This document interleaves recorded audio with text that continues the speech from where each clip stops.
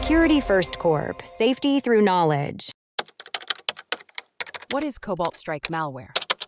Imagine a tool designed to help cybersecurity professionals test and strengthen their networks, but it falls into the wrong hands.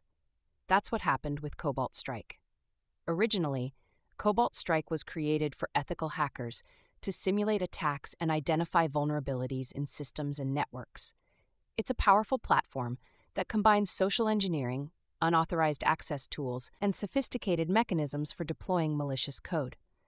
Cobalt Strike allows attackers to deploy an agent called Beacon on a victim's machine.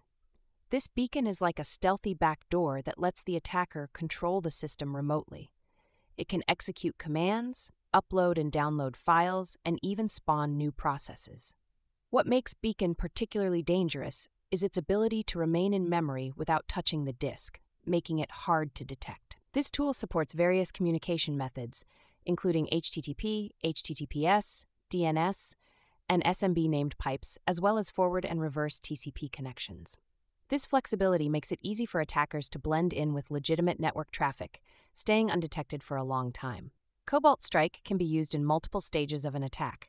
It starts with reconnaissance, then moves to exploitation, post exploitation, and finally command and control operations. It can also be combined with other hacking tools and methods, such as initial access brokers, to gain access to a network and then move laterally within it.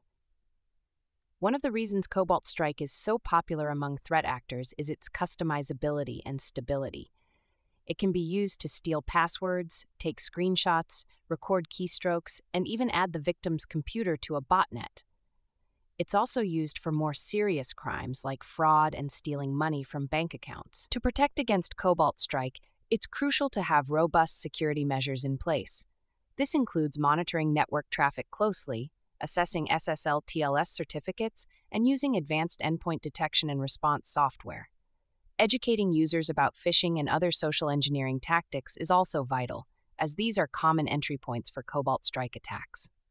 In summary, Cobalt Strike is a dual edged sword, a powerful tool for cybersecurity professionals that has unfortunately become a favorite among cybercriminals due to its advanced capabilities and stealthy nature. Understanding how it works is key to defending against its misuse. Thanks for tuning in to our video. Please like and subscribe and leave a comment below. See you in the next video.